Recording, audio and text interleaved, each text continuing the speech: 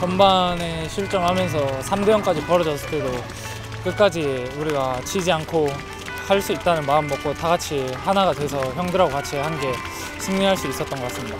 제가 데뷔골인 것도 어, 굉장히 기쁜데 팀의 승리에 도움이 된 것 같아서 굉장히 뿌듯하고 앞으로도 많은 도움 줄 도움과 골 기록할 수 있도록 노력하겠습니다.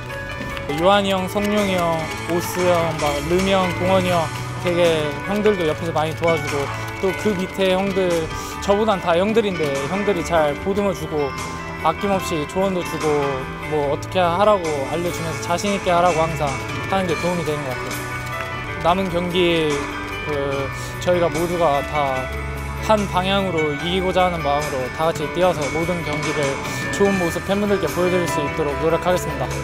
광주 원정까지 멀리 팬분들이 찾아와 주셔서 이렇게 저희가 역전하고 힘이 돼서 승리할 수 있었던 것 같아서 대단히 감사드리고 앞으로도 남은 시즌 많이 응원해 주시면 감사드리겠습니다. 감사합니다.